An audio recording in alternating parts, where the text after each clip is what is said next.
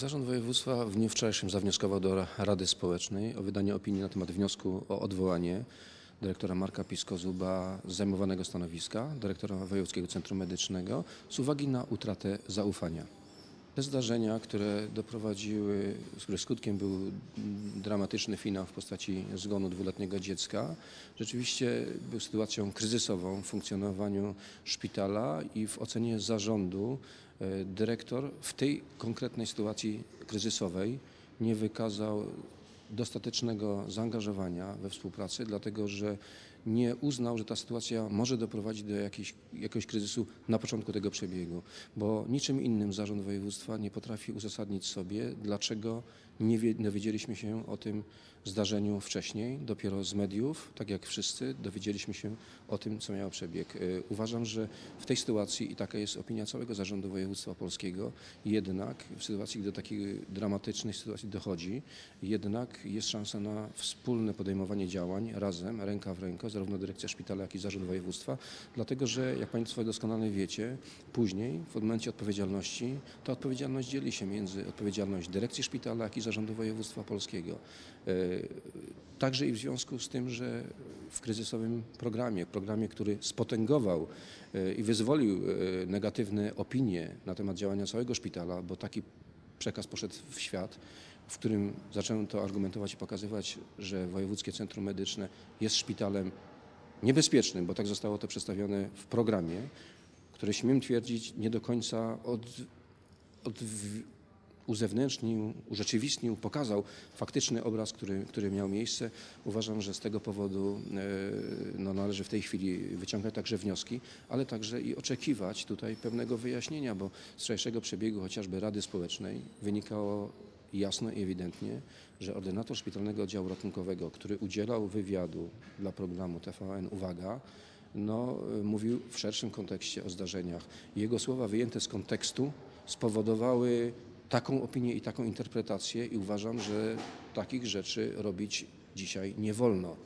I Zarząd Województwa także stoi na stanowisku, co dzisiaj w oświadczeniu przekazanym po podjęciu decyzji o rozwiązaniu umowy o pracę z dyrektorem Markiem Piskozubem stawiamy, będziemy zabiegać o to, aby tę sprawę wyjaśnić jednak, ponieważ do czasu, gdy prowadzi sprawę prokuratura, my się absolutnie nie wypowiadamy na temat medycznej, merytorycznej kwestii, bo uważamy, że prokuratura jest właściwym organem do wyjaśnienia tej kwestii. Prokuratura powołuje biegłych, prokuratura wykonuje czynności procesowe, prokuratura przesłuchuje. Ja sobie nie wyobrażam, żebyśmy my mieli takie czynności wykonywać. My możemy mówić tylko o kwestiach organizacyjnych. I ten wniosek, który Zarząd Województwa przedłożył, wynikający z utraty zaufania, to było to, co spowodowała e, między innymi to zdarzenie, ale praktycznie rzecz biorąc, e, to jest kwestia ogólnego wniosku na temat radzenia sobie w sytuacji kryzysowej. Oceniliśmy to zarządzanie przez dyrektora w tej sytuacji kryzysowej jako niewystarczające. Absolutnie uważamy, że działalność medyczna w sytuacji kryzysowej no, wymaga odrębnego wyjaśnienia, ale absolutnie nie można mówić w kategoriach popełnionego błędu dzisiaj, gdy nie są sprawy wyjaśnione do końca. Ja dla przykładu jako lekarz podaję również sytuacje takie, które się mogą wydawać abstrakcyjne z punktu widzenia telewizja, słuchacza, że przecież zbadani sportowcy pojawiają się na boisku i także zdarzają się przypadki zgonu. Nie chcę bagatelizować absolutnie tego przypadku. Nie w tym jest rzecz. Tyle, że to tylko jest obraz taki, że w medycynie nie można zagwarantować pewnego życia i zdrowia. Oczywiście trzeba robić wszystko, żeby było bezpiecznie, żeby było skutecznie, żebyśmy wszyscy mogli żyć w jak najlepszych warunkach.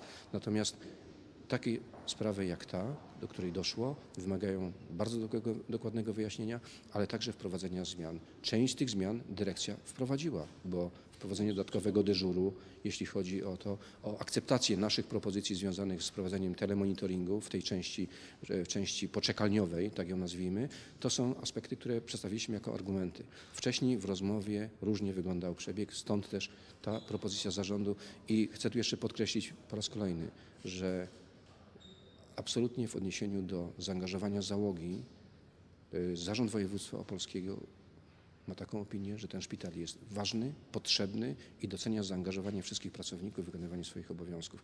Trzeba rozdzielić to zdarzenie, mimo że Państwo wszyscy przedstawiacie, że on ma bezpośredni związek z tąże sytuacją, to jednak to trzeba oddzielić jako działania źle oceniony przez zarząd województwa czy dyrekcję. Do tego mamy prawo, skoro odpowiadamy wspólnie z dyrekcją za wszystkie zdarzenia i taki był także przebieg dzisiejszego spotkania. Ja osobiście, znając przez wiele lat dyrektora Marka Piskozuba, przez wiele lat współdziałałem z nim, często nawet zdarzało się, że staliśmy przy jednym stole operacyjnym, ponieważ dr Piskozub jest chirurgiem, ja anestezjologiem i też mi z tego powodu nie było łatwo uczestniczyć w podejmowaniu tej trudnej decyzji.